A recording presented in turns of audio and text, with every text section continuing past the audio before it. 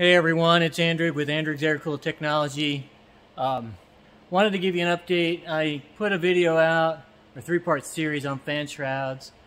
Um, the last part of that was about my new fan shroud. Um, I'm calling the Evolution fan shroud. And it's back here on my test rig right now. I just made another prototype and just finished uh, testing with it. You can see it on there. Um, the changes that I made worked beautifully.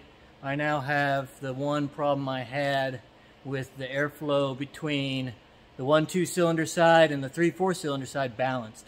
So they're same amount of air going between both now, which is great. That's what I wanted.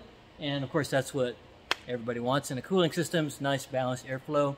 Um, the airflow um, measurements are even a little bit better in this version than before, probably because there's a little less complication in the air vanes. I actually removed one of them, um, so there's you know there's probably a little less turbulence in there, you know, providing a little bit more uh, airflow. So so that's good news. I don't have the optimized fan yet in here testing. That's going to be next.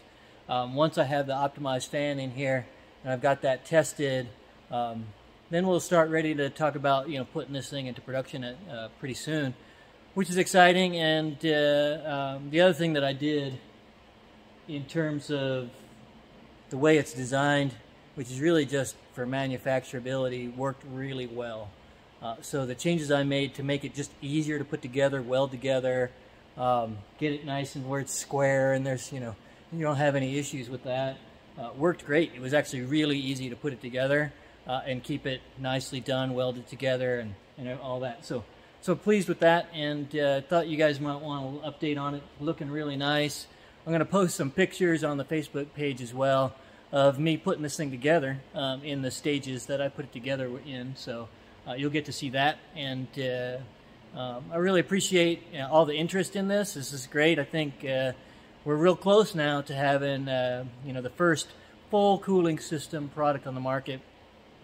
One thing, a couple things I'd like to know too, if you guys want to comment, uh, let me know what you think. Obviously, I don't have right now a provision in the fan shroud for the coil mount. Um, I do have, oh, my, my heater went off, so hopefully it's easier for you to hear me. Hopefully I don't have to do this again. I'll find out, I guess, when I edit this. But um, I do have a, a redesigned mount. Let me show it to you because it's like easy to just show it to you. For the coil. And uh, essentially, here's a here's a coil. This would mount like like so. This piece is just a 3D printed, obviously. This piece would just bolt down where the where the fuel pump goes. Um, of course, not everybody can do that. Um, CB Performance sells something very similar to this, probably very close, uh, identical. So the other option too, I do have a dealer agreement with CB Performance. I could I could just give that as an option, include that versus making my own. Um, you know, let me know what you guys think about kind of coil mount because uh, I don't have a provision for it. I could uh, put uh, two um, six millimeter nuts on the back and have holes, you know, and weld them in place just like I do for the backing plate uh, for the coil mount as well if you guys like the coil mount. I like a kind of clean look of just not having it there. And there's a lot of different ways people mount coils. This is just kind of one option. So let me know what you think about kind of that. Um, the the throttle tube is in the same position, so none of that's different. So all, all your linkage stuff should work just fine for throttle. Um, you don't have to do anything special there. It's really just the coil mount. Um, what you guys kind of think of that. The other thing I kind of wanted some feedback on, if you would comment what you, you know, kind of your opinion would be great, which is I'm going to probably just sell these things bare. So you'll just get it steel. You can then do whatever paint and, you know, uh, work you want to do with it. Uh, they probably won't be perfect. There'll probably be little imperfections here and there because it is handmade. Um, and uh, you can have it powder coated. In fact, I'm going to probably take this one right here and go powder, go get it powder coated just to see kind of how it comes out, it looks based on the way I put it together um, and see how good it looks. Because uh, the powder coat will hide some of the small imperfections for sure. Um, not really sure, you know, what it'll look like. I, I think actually turned out really good. What I did is, besides grounding all the welds, you know, flat, um, is uh, beveled the edges as well. I have a I have a kind of mini steel beveler, uh, well metal be beveler. Can be used other than steel, and I ran that around the edges and everything, so it took the sharp edges off after I ground the wells down, and you got a nice kind of beveled look.